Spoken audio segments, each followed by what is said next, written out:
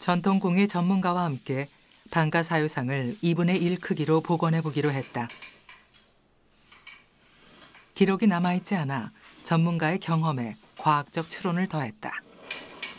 뼈대라고도 하고 줏대라고도 하는데요. 흙이 자체의 어떤 형상을 유지하기는 흙만 가지고 약하니까 줏대라는 뼈대를 집어넣고 속형을 만들기 위해서 그런 방식을 선택한 거고요. 반죽한 흙은 뼈대에 붙여 대략적인 틀을 잡는다. 만들고자 하는 형태의 7, 80%를 구현한 내형 틀이다.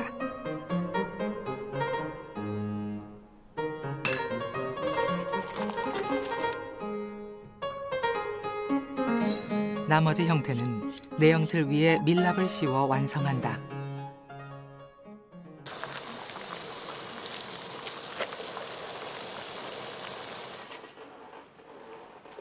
이제 밀랍을 가지고 주물 두께를 고려해서 4mm에서 5mm, 6mm 정도 두께를 한번 쭉 감죠. 형태에다가. 그리고 나서부터 거기서부터 섬세하게 조각을 들어가는 거죠.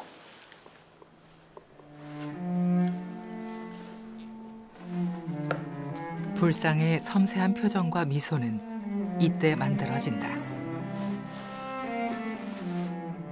나무 같은 경우는 하다가 한번 깎아지면 다시 살릴 수 없는 단점이 있는데 밀랍은 붙였다 뗐다가 되게 자유로우니까 자기가 하고자 하는 마음만 있다고 하면 원하는 데까지 최대한 끌고 갈 수 있습니다. 한번 만들어봤다가 마음에 안 들면 또 손보고 또 손보고 또 손보고 할 수 있는 장점은 큰 장점입니다. 복원 과정에서도 가장 어려운 단계는 청동 쇳물로 정교하게 상을 만드는 일이다. 이를 위해 밀랍 조각에 진흙을 바른다. 흙을 아주 묽은 물처럼 만들어서 아주 깊고 잘 안 들어가는 자리까지 파고 들어갈 수 있게 한 번 바르고 하루 이상 지난 다음에 또 한 번 바르고 또 하루 지나서 또 한 번 바르고 한 세 번, 네 번 정도는 그렇게 얇게 발라서 깨지거나 밀리지 않을 정도 강도가 나왔을 때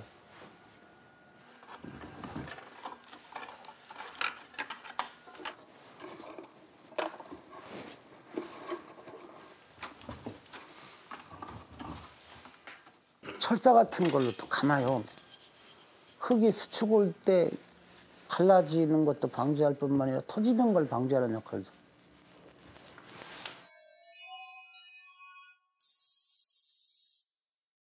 이렇게 외형 틀을 완성한다.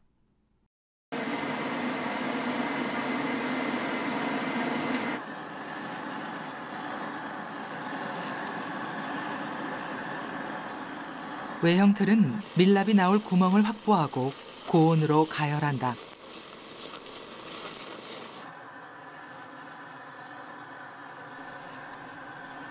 섭씨 약 400도로 가열하면 밀랍이 녹아서 나온다.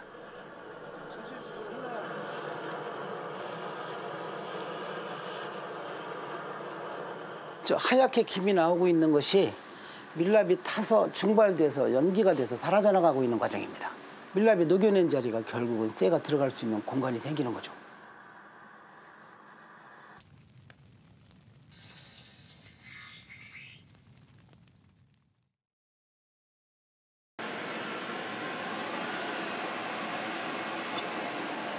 밀랍이 빠져나간 공간은 구리와 주석 등을 섞어 만든 청동 쇳물을 붓는다.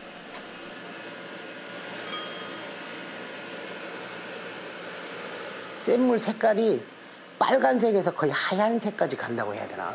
1050도에서 1100도 사이에서 쇳물 부어줘요. 식지 않고 골고루 잘 파고 들어갈 수 있게. tel 수 있으면 온도 안 떨어뜨리는 게 최고 좋고요.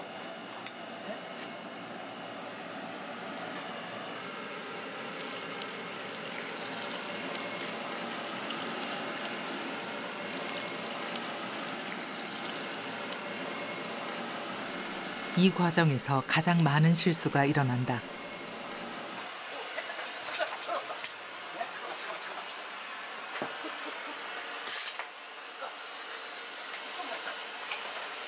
온도 유지를 잘못하면 내려가다 굳습니다. 크면 클수록 더 잘 굳고 실패율이 훨씬 더 높습니다. 방가사상 같은 경우 독특한 형태이기 때문에 더욱더 어렵습니다.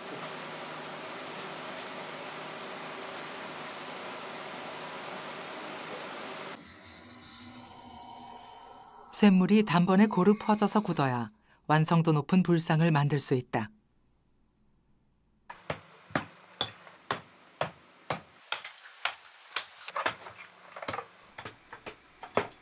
약 두 달간 진행된 반가사의상 복원.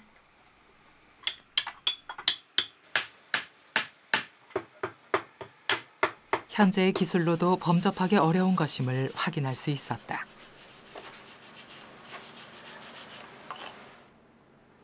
한 번에 성공했을 가능성은 없을 것 같습니다. 한 번 해보고 아 이런 문제가 있구나 두 번 해보고 아 이런 것도 보완해야 되겠구나 아마 한 수백 번을 해본 다음에 나오는 물건이 아닐까 할 정도로